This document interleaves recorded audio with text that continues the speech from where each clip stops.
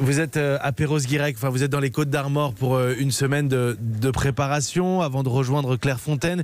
Il manque encore un, bon tiers de, l'équipe, les Lyonnaises qui sont en, en, Ligue des Champions. Je reprends les mots de la sélectionneuse Corinne Diacre. L'idée c'est se faire mal. vous allez souffrir pendant cette préparation, Valérie Gauvin? Oui, on va beaucoup souffrir. Ça a l'air euh, rire.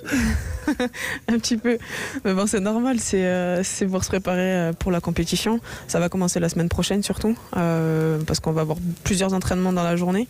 On, a parlé d'entraînement dès 7h du matin. Vous connaissiez ça? Vous en avez l'habitude? Oui, j'ai l'habitude à Montpellier quand on faisait les, prépas aussi d'avant un championnat. Il y avait parfois où on avait voilà, trois entraînements par jour et oui, il y avait le matin, enfin on doublait le matin et avec l'après-midi ça dépendait. Donc pour moi, ça va. Vous êtes attaquante de Montpellier, attaquante des Bleus pour ce mondial qui démarre le 7 juin. 7 juin mondial à la maison. Euh, on fait, nous, la France, on fait partie des, favoris. Euh, quel regard est-ce que vous portez sur, euh, sur les autres équipes? Vous le sentez bien? Vous vous sentez capable d'aller au bout? Oui, bah là ça fait un, an et demi qu'on travaille ensemble. on a beaucoup progressé et je pense que voilà, on peut aller loin et c'est l'objectif qu'on a en tout cas.